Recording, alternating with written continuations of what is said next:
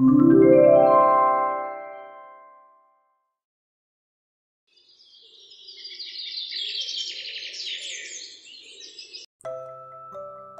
দিন আগের কথা। মোহনপুরের একটা জঙ্গলে একটা কাক আর একটা হরিণ থাকতো। তারা দুজনে খুব বন্ধু ছিল। কাক আর হরিণ একসাথে জঙ্গলে ঘুরে বেড়াতো আর খুব মজা করত।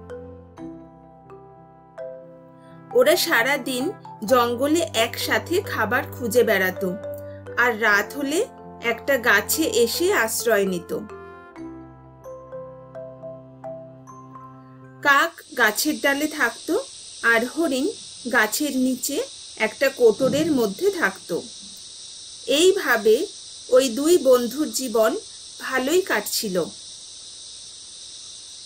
একদিন যখন কাক আর হরিণ জঙ্গলে ঘুরে বেড়াচ্ছিল, তখন একটা শেয়ালের নজর হরিণের ওপর পড়ল। এই হরিণটাকে খেতে হলে আমাকে কোনো না কোনো রাস্তা বের করতে হবে। আমি যদি ওই হরিণের সাথে বন্ধুত্ব করি, তাহলে আমি ওকে ভাসাতে পারব আর তারপর ওর নরম তাজা মাংস খেতে পারব। সেই দিনের পর থেকে ওই চালাক শেয়াল হরিণের পিছু করতে লাগল। আর আড়াল থেকে হরিণের ওপর নজর রাখতে লাগল। একদিন শেয়াল ঝোপের আড়াল থেকে দেখল হরিণ একা একা ঘাস খাচ্ছে আর কাকও আশেপাশে নেই। এই সুযোগে শেয়ালটা আস্তে আস্তে হরিণের কাছে গেল আর হরিণকে বলল, আরে হরিণ, আমার বন্ধু, কেমন আছো? আজ তুমি একলা? হঠাৎ শিয়ালকে দেখে হরিণ ঘাবড়ে গেল। এই দেখে তখনই শেয়াল হরিণকে বলল, আরে বন্ধু, আমাকে দেখে ভয় পেও না। আমি তোমাকে কিছুই করব না। আমি তো তোমার সাথে বন্ধুত্ব করতে এলাম। আরে আরে, কে তুমি? আমি তোমাকে চিনি না। তুমি হঠাৎ করে আমাকে বন্ধুই বা বলছো কেন? আমি কোনো অচেনা কারোর সাথে বন্ধুত্ব করি না। তুমি এখান থেকে যাও। আমি এই জঙ্গলে নতুন এসেছি। একা একা থাকি। কোনো বন্ধু নেই আমার। তাই তোমাকে দেখে বন্ধুত্ব করতে এলাম। কিন্তু তুমি তো আমাকে চলে যেতে বলছো। এই বলে শেয়াল মিথ্যা মিথ্যা কাঁদতে লাগল। শেয়ালের কথা আর কান্না দেখে হরিণের মায়া হলো। আর শেষমেশ হরিণ শিয়ালকে বন্ধু বলে মেনে নিল। সেদিনের পর থেকে হরিণ আর শিয়াল একসাথে সময় কাটাতে লাগল। নতুন বন্ধু পেয়ে হরিণ কাককে ভুলেই গেল। হরিণ, তুমি আমাকে তোমার বাড়ি দেখাবে? তোমার বাড়ি দেখতে আমার খুব ইচ্ছা করছে। আমাকে তোমার বাড়ি নিয়ে যাবে? হ্যাঁ বন্ধু, আমি তোমাকে আমার বাড়ি নিয়ে যাব। তুমি আমার নতুন বন্ধু। তোমাকে আমার বাড়ি দেখাতে কোনো অসুবিধা নেই। এরপর হরিণ শিয়ালকে নিয়ে বাড়ির পথে রওনা হলো। বাড়িতে এসে হরিণ দেখে কাক সেখানে একা একা বসে আছে। তখন হরিণ শিয়ালকে নিয়ে কাকের কাছে এলো। কাক ভাই এই শিয়াল খুব ভালো। এই জঙ্গলে নতুন এসেছে। ও আমার নতুন বন্ধু হয়েছে। এসো তুমিও শিয়াল ভাইয়ের সাথে বন্ধুত্ব করে নাও। বন্ধুত্ব? আর এই শিয়ালের সাথে? হরিণ তুমি কি জানো না শেয়াল মাংস খাওয়া প্রাণী শেয়ালের সাথে বন্ধুত্ব করা তো একরকম ভুল কাজই হবে। আমি তো শেয়ালকে বন্ধু বলে মেনে নেব না। এরপর তুমি তোমার সিদ্ধান্ত নাও, তুমি কাকে বন্ধুত্ব করবে আর কার সাথে থাকবে। এই বলে কাক সেখান থেকে চলে গেল। কিন্তু হরিণ কাকের কথা শুনল না, কারণ ততদিনে হরিণ আর শেয়ালের মধ্যে ভালো বন্ধুত্ব হয়ে গেছে। হরিণ শিয়ালের সাথে ঘুরতে লাগল। একদিন শিয়াল হরিণকে বলল, হরিণ ভাই, আজ আমি তোমায় এমন একটা জায়গায় নিয়ে যাব, যেখানে তুমি তোমার মনের মতো অনেক খাবার পাবে। হরিণ এই কথা শুনে শেয়ালের সাথে চলতে শুরু করল। শেয়াল হরিণকে একটা ক্ষেতের কাছে নিয়ে গেল, যেখানে অনেক রকমের সবজি হয়েছিল। এত খাবার দেখে হরিণ খুব খুশি হয়ে গেল। শেয়াল আমার বন্ধু, তুমি ছিলে বলে আমি এত ভালো ভালো খাবার খেতে পাচ্ছি। আমি এত ভালো খাবার এর আগে আর কখনো খাইনি।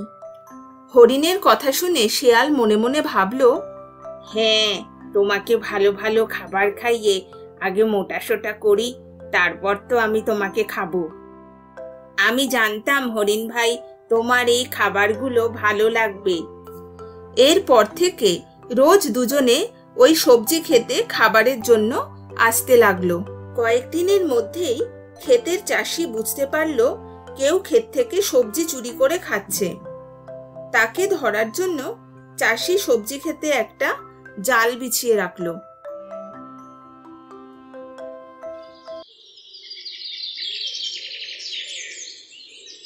পরের দিন যখন শিয়াল আর হরিণ ওই সবজি খেতে খাবারের জন্য এলো তখন হরিণ ওই জালে বন্দি হয়ে গেল। আর হরিণের এই অবস্থা দেখে শেয়াল সেখান থেকে পালিয়ে গেল।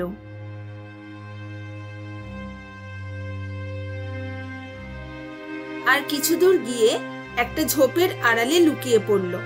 আর অপেক্ষা করতে লাগল, চাষি কখন এসে হরিণটাকে মেরে ফেলবে? আর তারপর চাষি চলে গেলে শেয়াল ওই মরা হরিণের মাংস খাবে। এদিকে হরিণ জালবন্দি হয়ে চিৎকার করতে লাগল আর ভাবতে লাগল শেয়াল তাকে এসে রক্ষা করবে। কিন্তু শেয়াল হরিণের কাছে এলো না। তখন হরিণের কাকের কথা মনে পড়ল। হরিণ তখন চিৎকার করে কাককে ডাকতে লাগল। কিছু দূরেই কাক একটা গাছের ডালে বসেছিল। হঠাৎ হরিণের চিৎকার শুনে কাক তাড়াতাড়ি হরিণের কাছে চলে এলো। কাক ভাই আমাকে এই জাল থেকে তাড়াতাড়ি বের করো। না হলে কিছুক্ষণের মধ্যেই এই খেতে চাষি এসে পড়বে আর আমাকে মেরে ফেলবে। তুমি তাড়াতাড়ি আমাকে এই জাল থেকে বের করো বন্ধু। যদি তুমি সেদিন আমার কথা শুনতে তাহলে আজকে তোমার এই বিপদ হতো না। আমি তোমায় বলেছিলাম ওই শিয়াল ধোকাবাজ তোমাকে বিপদে ফেলে পালিয়ে গেছে। হ্যাঁ বন্ধু আমি অনেক বড় ভুল করেছি। কিন্তু এখন তুমি তাড়াতাড়ি আমাকে এই জাল থেকে বের করো, কাক ভাই। ঠিক আছে, একটা কাজ করো। যখন চাষি আসবে, তখন তুমি মরার মতো শুয়ে থাকবে, আর আমি তোমাকে ঠোকরাতে থাকব। তাড়াতাড়ি করো, ক্ষেতের মালিক এদিকেই আসছে।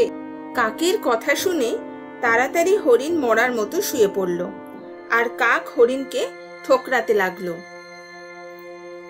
চাষি এসে ভাবলো হরিণ মরে গেছে।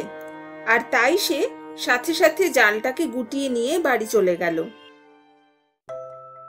সুযোগ বুঝে তাড়াতাড়ি হরিণ সেখান থেকে পালিয়ে গেল।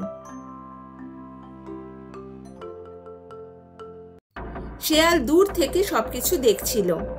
হরিণ পালিয়ে যাওয়াতে শেয়াল নিরাশ হয়ে গেল। শেয়াল ভেবেছিল চাষি হরিণকে মেরে ফেললে ও হরিণের মাংস খাবে। কিন্তু কাক এসে সব গোলমাল করে দিল। ওদিকে বাড়ি এসে হরিণ কাককে ধন্যবাদ জানিয়ে বলল আমাকে ক্ষমা করে দাও কাক ভাই। তোমার মতন বন্ধুকে ছেড়ে আমি ওই দুষ্টু শেয়ালের মিথ্যে বন্ধুর শিকার হয়েছিলাম। আমার খুব ভুল হয়ে গেছে। এখন থেকে আমরা আবার আগের মতো একসাথে থাকব। এরপর থেকে হরিণ আর কাক আবার আগের মতো বন্ধু হয়ে গেল।